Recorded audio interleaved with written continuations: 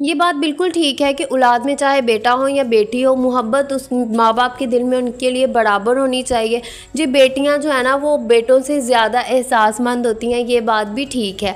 लिहाजा हमें drama serial में ये चीज़ दिखाई जाती है कि भाई यहाँ पर नूर जहाँ जो है, वो बहुत ज़्यादा बेटे की माँ को अहमियत देती है, जबकि बेटी की माँ को वो कहती है कि भाई इसने कोई ख़ास कारनामा किया ही नहीं है, जबकि ये बात गलत होती है। पोता हो या पोती हो, दोनों ही बराबर रहने चाहिए। लेकिन यहाँ पर महा को ससुराल में बहुत अहमियत मिलेगी। लेकिन महा ने एक ज़िद पकड़ ली है कि भाई सुम्बुल को घर से निकाल दिया जाए।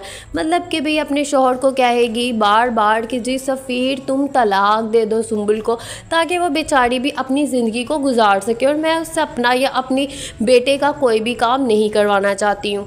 नूर जहाँ महा की इस बात को नहीं मानेंगी और महा को समझाएँगी कि भाई मैंने कभी किसी के लिए काम वाली नहीं रखी और तुम्हें तो मैंने दे दी तुम्हारे सारे